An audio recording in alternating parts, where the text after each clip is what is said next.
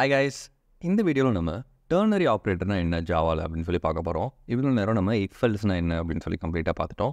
அடுத்து இந்த டேர்னரி ஆப்ரேட்டர்னா என்ன அப்படின்றப்ப ஜாவாவில் டேர்னரி ஆப்ரேட்டர் இஃபெல்ஸுக்கு ஒரு ஷார்ட் வெர்ஷன் மாதிரி. ஓகே இஃபெல்ஸுன்னு நம்ம பெருசாக போட்டி எழுதாமல் ரொம்ப ஷார்ட்டாக இந்த டேர்னரி ஆப்ரேட்டர் யூஸ் பண்ணி நம்ம வந்து நமக்கு தேவையான ரிசல்ட்டை நம்மளால் வாங்கிக்க முடியும். அதாவது நான் என்ன சொல்ல வரேன் அப்படின்னா ரொம்ப சிம்பிளாக நான் உங்களுக்கு எக்ஸ்பிளைன் பண்ண ட்ரை பண்ணுறேன் இதுதான் வந்து ஆக்சுவலாக டேர்னரி ஆப்ரேட்டரோட சின்டாக்ஸ் ஓகேவா பட் எப்படி இது ஒர்க் ஆகுது என்ன அப்படின்றத நம்ம பார்க்கலாம். இப்போது நார்மல் ஒரு இஃபல்ஸை வச்சு நம்ம ஒர்க் பண்ணுறப்ப நான் உங்களுக்கு ஆக்சுவலாக கோடில் நான் பண்ணி ரன் பண்ணி காட்டுறேன். நல்லா கவனிங்க இஃப் ட்ரூன்னு நான் போட்டால் என்ன ஆகும்? இஃப் ட்ரூன்னு நான் போட்டால் எஸ் இப்போ நான் இந்த ப்ரோக்ராமை ரன் பண்ணேன் அப்படின்னா எனக்கு எஸ்ன்னு பிரிண்ட் ஆகுமா? இந்த ப்ரோக்ராமை ரன் பண்ணுறப்ப எனக்கு எஸ்ன்னு பிரிண்ட் ஆகுது ஓகே இதே நான் எல்ஸ் போட்டு system dot out dot print இங்கே வந்து நான் நோன் போட்டால் என்ன பிரிண்ட் ஆகும்? இப்போ எனக்கு எல்ஸில் உள்ளது பிரிண்ட் ஆகுமா? இப்போ எனக்கு எல்ஸில் உள்ளது பிரிண்ட் ஆகுமா? ரன் பண்ணுறேன் எனக்கு எல்ஸில் உள்ளது பிரிண்ட் ஆகலை. ஏன்னா இஃப்பில் ட்ரூன்னு இருக்குது இஃப்பில் ஃபால்ஸ்ன்னு இருந்தால் இஃப்பில் ஃபால்ஸ்ன்னு இருந்தால் என்ன அர்த்தம்? இப்போ எனக்கு எல்ஸில் உள்ள நோ பிரிண்ட் ஆகுது. ஓகே ஸோ இது நமக்கு கிளியர் கரெக்டாக இது எப்படி ஒர்க் ஆகுதுன்னு நமக்கு தெரியுது.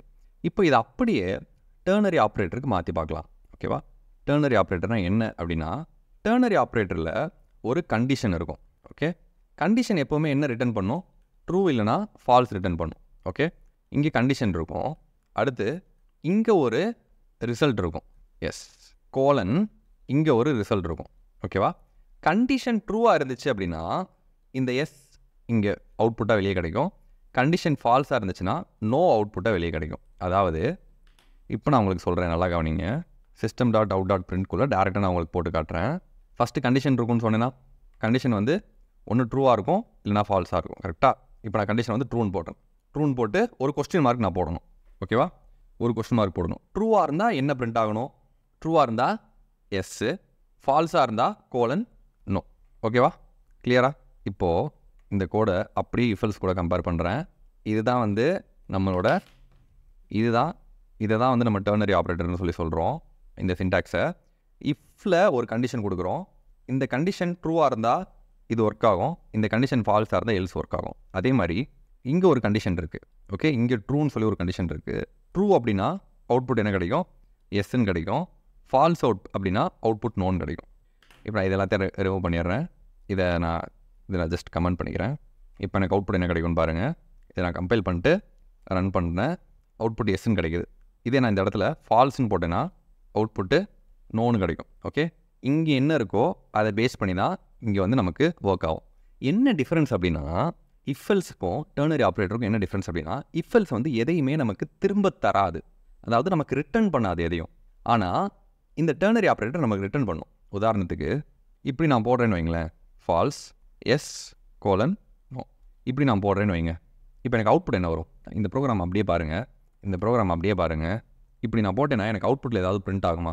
இப்படி நான் போட்டேன்னா எனக்கு அவுட்புட்டில் ஏதாவது பிரிண்ட் ஆகுமா? இப்போ நான் ரன் பண்ணுறேன் எனக்கு வந்து எரர் வருது ஆக்சுவலாக ஓகே ஸோ இந்த மாதிரி நம்ம சிம்பிளாக போடக்கூடாது இப்படி மொட்டையாக போடக்கூடாது. இந்த ஸ்டேட்மெண்ட் என்ன பண்ணும்? ரிட்டர்ன் பண்ணும். அதாவது ஒரு வேல்யூவை திரும்ப வெளியே கொடுக்கும். இப்போ நான் இந்த இடத்துல ஸ்ட்ரிங் ரிசல்ட் ஈக்குவல் டு இப்படி நான் போட்டேன்னு வைங்களேன். இப்போ என்ன ஆகும்?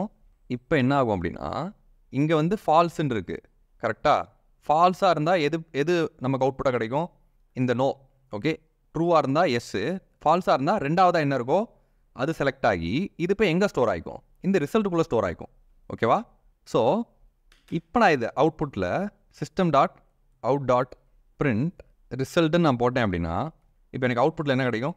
அவுட்புட்டில் எனக்கு நோன் கிடைக்குது. ஓகே ஃபஸ்ட்டு ஒரு கண்டிஷன் ட்ரூவா ஃபால்ஸான்னு சொல்லிட்டு ட்ரூனா ஃபஸ்ட்டில் இருக்கிற வேல்யூ போய் இந்த ஒரு வேரியபிளுக்குள்ளே ஸ்டோர் ஆகும். ஃபால்ஸ் அப்படின்னா செகண்டில் கோலனுக்கு அப்புறம் இருக்கிறது போய் இந்த வேரியபிளில் ஸ்டோர் ஆகும். ஓகே திரும்ப நம்ம இன்னொன்று ட்ரை பண்ணி பார்க்கலாம். ஜஸ்ட் சிம்பிளாக எதுவுமே ரொம்ப பெரிய காம்ப்ளெக்ஸான விஷயம் இல்லை. ஃபைவ் கிரேட்டர் தென் டூ இப்போ எஸ் பிரிண்ட் ஆகுமா? நோ பிரிண்ட் ஆகுமா? சொல்லுங்கள் இப்போ நான் இந்த கோடை ரன் பண்ணுறேன் இப்போ நான் இந்த கோடை கம்பைல் பண்ணிட்டேன். இப்போ நான் அதை ரன் பண்ண போகிறேன் எஸ் பிரிண்ட் ஆகுமா? நோ பிரிண்ட் ஆகுமா? ஃபைவ் கிரேட்டர் தென் டூ ட்ரூவா ஃபால்ஸா ட்ரூ ட்ரூனா என்ன அர்த்தம்? ஃபஸ்ட்டு இருக்கிற இந்த கொஸ்டின் மார்க்குக்கு அடுத்து இருக்கிற ஃபஸ்ட்டு வேல்யூ போய் இந்த ரிசல்ட்டில் ஸ்டோர் ஆகும். அப்போ அவுட்புட் என்ன கிடைக்கும்? எஸ்ன்னு பிரிண்ட் ஆகும். ஓகே புரிஞ்சுன்னு நினைக்கிறேன். இதுதான் இதுதான் வந்து டெர்னரி ஆப்ரேட்டர். வேறு ஒன்றுமே இல்லை. ரொம்ப சிம்பிள். ஓகே? ஸோ அந்த சின்டாக்ஸ் மட்டும் கரெக்டாக பார்த்துக்கோங்க. ஒரு கண்டிஷன் போட போகிறோம் ஒரு கொஸ்டின் மார்க் அதுக்கப்புறம் வேல்யூ ட்ரூவாக இருந்தால் ஃபஸ்ட்டு என்ன இருக்கோ அது போய் இந்த வேரியபிளில் ஸ்டோர் ஆகும். அடுத்து ஃபால்ஸாக இருந்துச்சுன்னா ஒருவேளை இந்த கண்டிஷன் ஃபால்ஸாக இருந்துச்சுன்னா கோலனுக்கு அப்புறம் இருக்கிறது போய் இந்த வேரியபிளில் ஸ்டோர் ஆகும். அவ்வளோதான் சிம்பிள் இஃபல்ஸோட ஒரு short and version okay? Okay. So இதை நம்ம ட்ரை பண்ணி பார்க்கலாம். அடுத்த ஒரு program boolean rain equal to மழை பெஞ்சா அம்பரலா எடுத்துகிட்டு போ. மழை பெய்யலைன்னா என்ஜாய் தி சன்லைட் அப்படின்னு சொல்லி சொல்கிறோம் இதை வந்து நம்ம இஃபெல்ஸில் எப்படி பண்ணுறதுன்னு ஆல்ரெடி பார்த்தோம். இதையே நம்ம இப்போ டெர்னரி ஆப்ரேட்டரில் பண்ண போகிறோம் இங்கேயும் அதே மாதிரி என்ன பண்ண போகிறேன் ஒரு நமக்கு ஒரு வேல்யூ ரிட்டர்ன் கிடைக்கும். கரெக்டாக ஸ்டோ ஸோ நான் வந்து அந்த வேல்யூவை ஸ்டோர் பண்ணுறதுக்கு ஒரு வேரியபிள் கிரியேட் பண்ணிக்கிறேன். ஸ்ட்ரிங் ரிசல்ட் இந்த இடத்துல ரெயின் ஒருவேளை மழை பெஞ்சிச்சுன்னா டேக்கன் அம்பரல்லா கோலன் ஒருவேளை இந்த ரெயின் ஃபால்ஸாக இருந்துச்சுன்னா என்ஜாய் தி சன்லைட் ஓகே இப்போ நான் அவுட்புட்டில் system dot out dot print ரிசல்ட்னு போடுறேன். இப்போ என்ன அவுட்புட் கிடைக்கும்? இப்போ என்ன அவுட்புட் கிடைக்கும்? ரெயினில் என்ன இருக்குது ட்ரூ இருக்குது அப்போ இந்த இடத்துல என்ன இருக்குன்னு அர்த்தம்? ட்ரூ இருக்குன்னு அர்த்தம். ட்ரூனா என்ன பிரிண்ட் ஆகும்? டேக் அன் அம்பரலா அப்படின்ற இந்த வேல்யூ போய் ரிசல்ட்டில் ஸ்டோர் ஆகிக்கும் அப்போ அவுட்புட்டில் என்ன வரும்? டேக் அன் அம்பரலான்னு பிரிண்ட் ஆகும். இதே ரெயின் வந்து ஃபால்ஸாக இருந்துச்சுன்னா ஃபால்ஸு ஸோ செகண்டில் என்ன இருக்கோ அது போய் ரிசல்ட்டில் ஸ்டோர் ஆகும். அப்போ அவுட்புட் என்ன வரும்? என்ஜாய் தி சன்லைட்னு வரும். ஓகே இப்போ கிளியராக ஆயிருப்பீங்கன்னு நம்புகிறேன் ஓகே இப்போது உங்களுக்கான ஒரு கொஸ்டின் வீடியோ பாஸ் பண்ணிவிட்டு இந்த கொஸ்டினை பண்ணுறதுக்கு ட்ரை பண்ணுங்கள் get input for two integer number ரெண்டு இன்புட் ரெண்டு இன்டிஜர் நம்பருக்கு இன்புட் வாங்கிக்கோங்க. A and B fine which number is greater அந்த ஏபியில் எந்த நம்பர் கிரேட்டர் அப்படின்னு இஃபல்ஸ் இல்லாமல் டேர்னரி ஆப்ரேட்டர் யூஸ் பண்ணி மட்டும் கண்டுபிடிங்க. ஓகே கண்டுபிடிச்சிட்டிங்க அப்படின்னா அதுக்கான சொல்யூஷனை கமெண்ட் செக்ஷனில் போடுங்க. See next video video. Bye